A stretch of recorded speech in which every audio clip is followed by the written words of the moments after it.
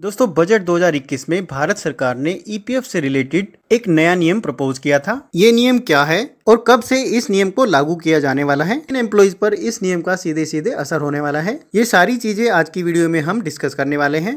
Video शुरू करने से पहले अगर आपने चैनल को सब्सक्राइब नहीं किया है तो प्लीज़ सब्सक्राइब कीजिए और प्रेस कीजिए बेल बटन को, ताकि फ्यूचर में जब भी मैं ईपीएफ से रिलेटेड ऐसी इंपॉर्टेंट वीडियो डालूं तो उसका नोटिफिकेशन आपको सबसे पहले मिल जाए।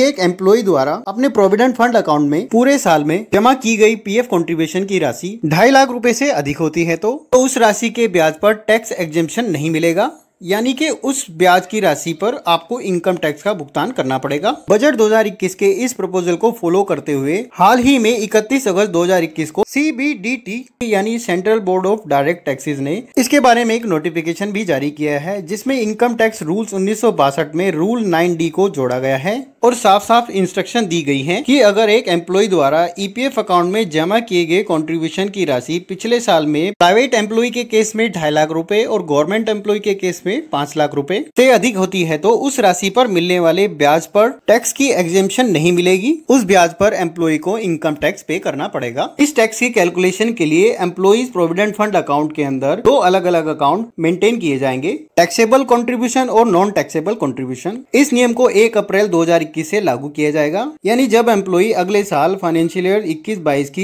इनकम टैक्स रिटर्न को फ़ाइल करेगा तो उसमें इसकी सारी डिटेल्स उसको मेंशन करनी होगी। हालाँकि ईपीएफओ ने अभी इन दो खातों के बारे में कोई भी औपचारिक आदेश नहीं दिए हैं। सीबीटीडी यानी central board of direct taxes ने कहा है, इकतीस मार्च 2021 के ईपीएफ क्लोजिंग बैलेंस और ब्याज की राशि को नॉन टैक्सेबल माना जाएगा और इस राशि को नॉन टैक्सेबल अकाउंट में दिखाया जाएगा। उसके बाद यानी फाइनेंशियल ईयर 2021-22 में यानी कि 1 अप्रैल 2021 से 31 मार्च 2022 तक जो भी कंट्रीब्यूशन एम्प्लॉय द्वारा अपने ईपीएफ अकाउंट में जमा किया जाएगा। प्राइवेट एम्प्लॉय के केस में अगर वो ढाई लाख रुपए से ज़्यादा है और गवर्नमेंट एम्प्लॉय के केस में अगर वो पाँच लाख रुपए से ज़्यादा है तो इस लिमिट से ऊपर जितना भी अमाउंट होगा, उसको आपके टैक्सेबल अकाउंट में दिखाया जाएगा। एग्ज़ाम्पल के तौर पर अगर आपका साल का कॉन्ट्रीब्यूशन दस लाख रुपए है और आप एक प्राइवेट एम्प्लॉय है तो दस लाख में से मिनिमम अमाउंट हम हटा देते हैं तो दस लाख में से ढाई लाख हटा देते हैं तो वो बनता है साढ़े सात लाख रुपए। तो साढ़े सात लाख की अमाउंट पे जो भी आपका इंटरेस्ट यानी कि ब्याज आपका एक्रूड होगा, उस अमाउंट पर आपको टैक्स पे करना पड़ेगा और ये टैक्स आपको हर साल पे करना होगा।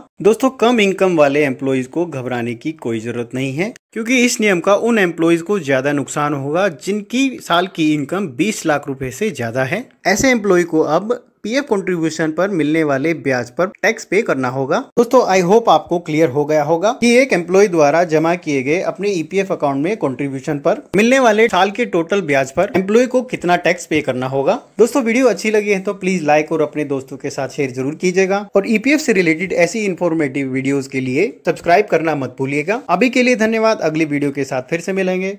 All the best